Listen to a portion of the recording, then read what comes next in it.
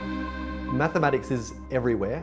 It's in our smartphone, it's in our computer, we use it when we do our banking, it's in our GPS, it's literally everywhere. And I think that in the next century it will only grow in importance. Mathematics is the language for the sciences.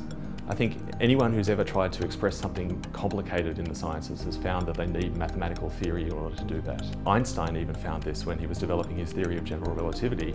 He found that the mathematics that he'd learned was not sufficient for him to be able to express the ideas that he had about how matter and space were curved. And uh, for that he needed to develop a lot of new tools in differential geometry.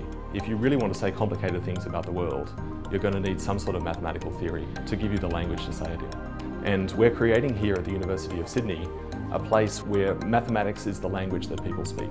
It's amazing what happens in these institutes. You create this real environment where people believe that they can tackle difficult questions and they believe that they're supported in doing this. Pure mathematics research is extremely important for Australia's future. And so having something in Australia where this happens is very, very important. The primary focus of the Institute will be its visitor program and to introduce new initiatives uh, in outreach and community engagement that the university hasn't really had an avenue for in the past. I think that we have a responsibility in our society to contribute to public understanding through outreach and even through dinner party discussions to honestly and accurately represent what's happening in science and mathematics today is extremely important. I think that to some extent we've neglected this responsibility over the last 50 years. The Institute will have a science communicator whose job it is to explain to the general public what mathematical research is like and what mathematical research is being done here at the Institute.